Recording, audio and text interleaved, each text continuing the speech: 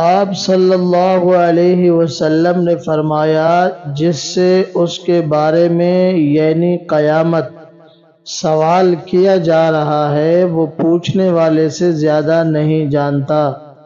البتہ میں تمہیں اس کی نشانیاں بتا دیتا ہوں۔ جب باندی اپنی مالکن کو جنم دے گی تو یہ اس کی علامت ہے۔ اور جب ننگے بدن، ننگے پاؤں لوگوں کے سردار بن جائیں تو یہ اس کی علامات ہے۔ اور جب لوگ اونچی اونچی عمارتیں بنانے لگے تو یہ بھی اس کی علامت ہے۔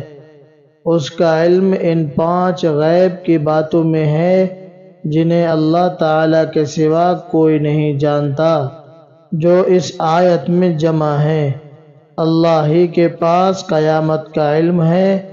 آیت پڑھ لو۔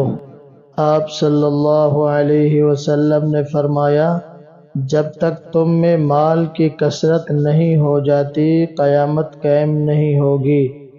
وہ مال پانی کی طرح بہے گا۔ اور مال والے کو فکر ہوگی کہ اس کی زکوٰۃ و خیرات کون قبول کرے گا۔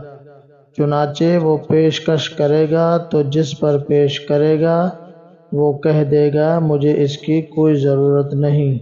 نبی کریم صلی اللہ علیہ وسلم نے فرمایا، جب تک دو بڑی جماعتیں جن کا دعویٰ ایک ہوگا، آپس میں جنگ نہیں کریں گی، قیامت قائم نہیں ہوگی۔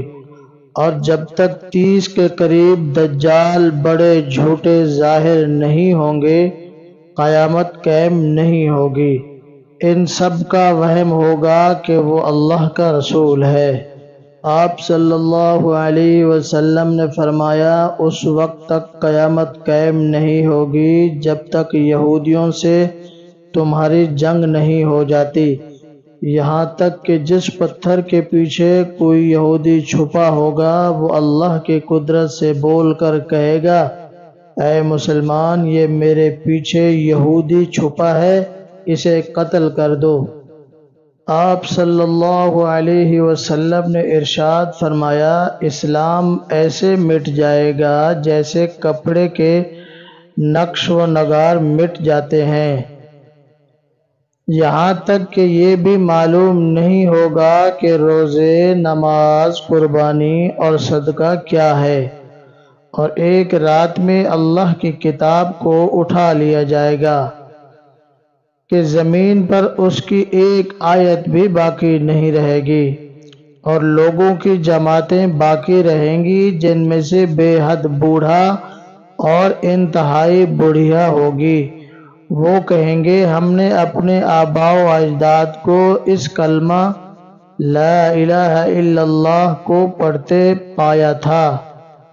ہم بھی یہی پڑھتے ہیں۔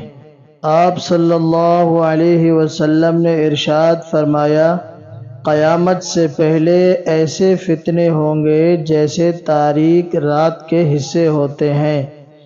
ان میں آدمی صبح کو مومن ہوگا اور شام کو کافر ہوگا۔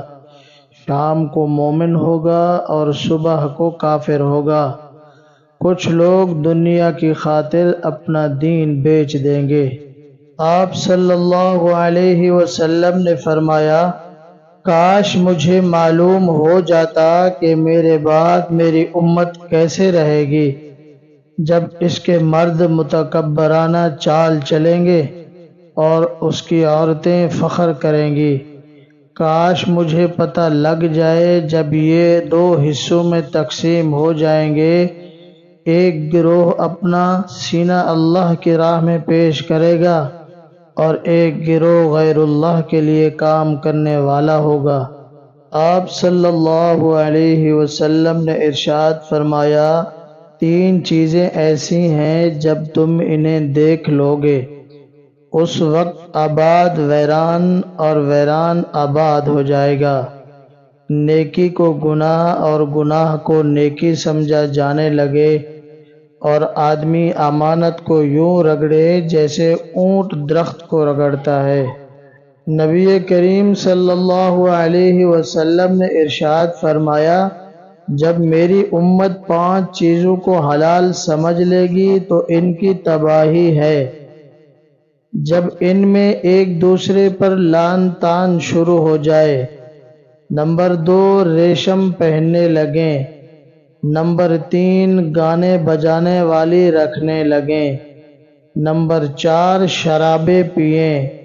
نمبر پانچ مرد مردوں سے اور عورتیں عورتوں سے فائدہ اٹھانے لگیں۔